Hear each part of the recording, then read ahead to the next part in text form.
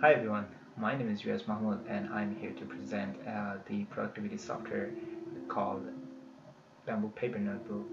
Uh, whenever you hear the name Bamboo Paper, one question comes up to your mind, what is Bamboo Paper Notebook? It sounds like a paper notebook. Yes, there is the catch.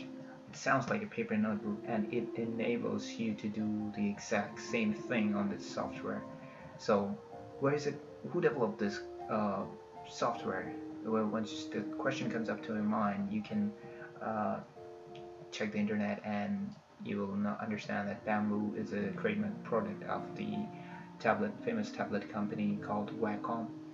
They have a bunch of different kind of um, styluses and uh, tablets for every single group of artists, you say artist, or every kind of people out there.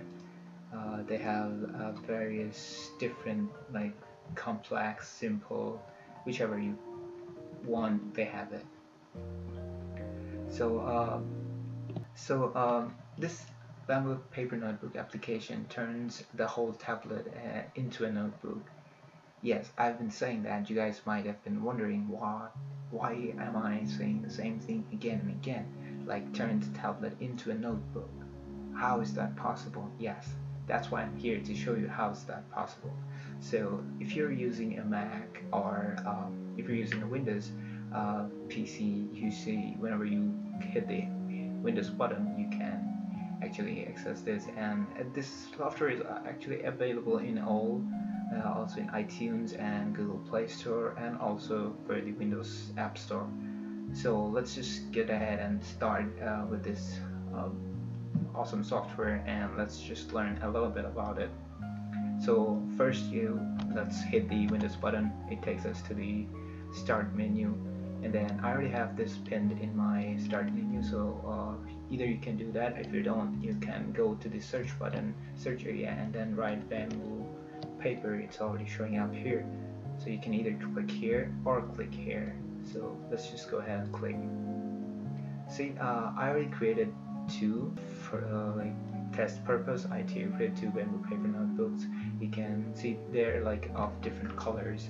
So uh, it gives you an instant idea that you can actually edit the color of the notebooks and stuff. So how do we do that?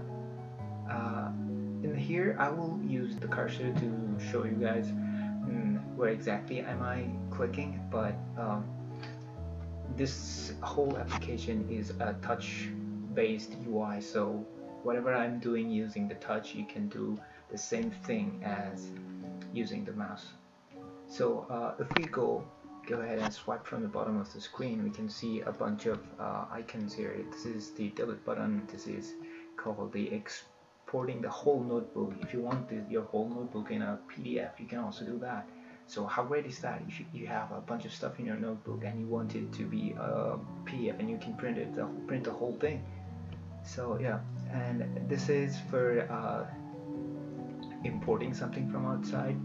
So you can either go up and get something and or you can get back. You can already um, import a notebook like that.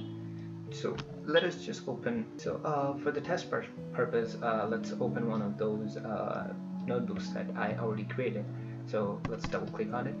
It opens okay so here we can see the whole the first page of my notebook. It's called IT 601 research topic. As you can see bamboo paper notebook and my name. And, and my name underneath it. So you can see a bunch of um, buttons uh, across like all over the pages. This is actually the home button which takes you to the choosing of the uh, which notebook you want. And then this is if you want to import from camera or import from import an image from a files then you can use undo button and redo button as usual. And here is your all type of uh, pencils brushes and all tools and the sizes here. You can get the colors various colors from here. And this is the old fashioned eraser. You can either use erase like that or you can just clear the whole page uh, and this button helps you to like, eliminate uh, the buttons for now so you get a like clear idea of what your uh, clear uh, area so that you don't accidentally press anything. So let's just go ahead and get it. So uh, from here there's another option you can if you swipe from the bottom of the screen you can see how many pages you've created. And you can also delete the single page like just with creating and then delete. You can export it from somewhere. You can save it you can uh, copy it in the clipboard and paste somewhere. You can create new pages from here. So um, let's just uh, let's go ahead and come up with some examples that might that will help you to better uh, understand this software and how to use it, like why you should use it.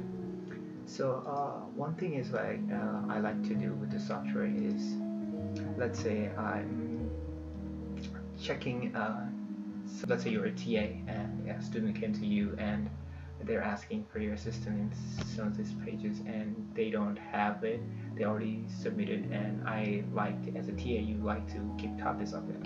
So you already have that picture with you and then you select it and you bring the whole thing here.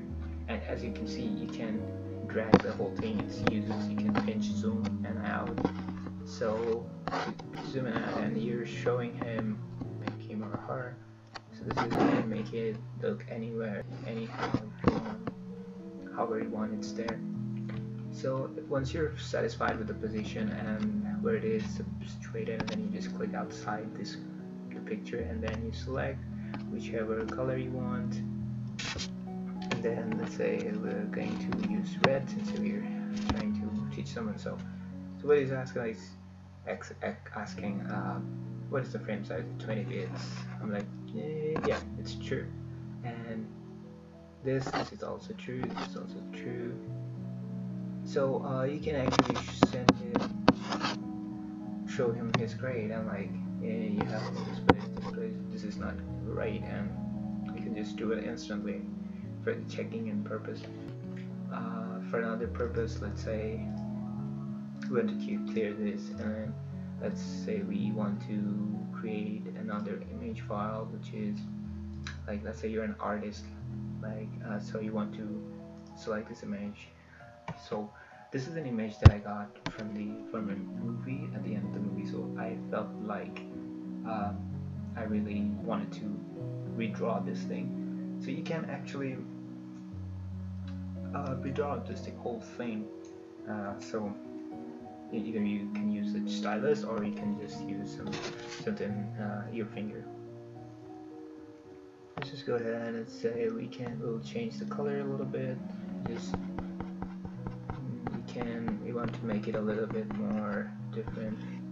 And we want to put something here. Let's change the color.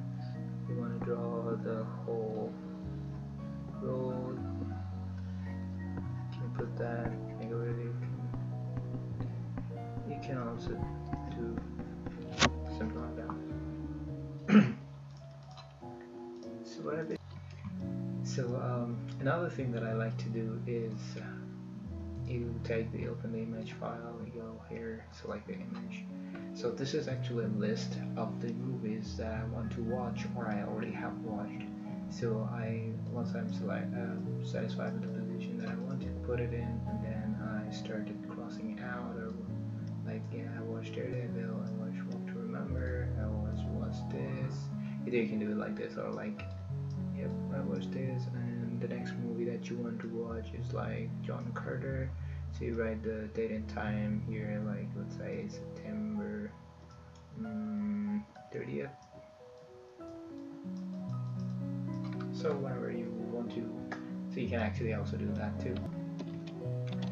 Um, so uh, that is actually the end of presentation and if my presentation is uh, I hope you guys learned something and if you have any question I'll be coming with you with the um, workshop and we will be I'll be glad to help you out with the workshop and please note anything if you want specifically uh, if you want to ask me something really specific note everything and I'll be very glad to help you out.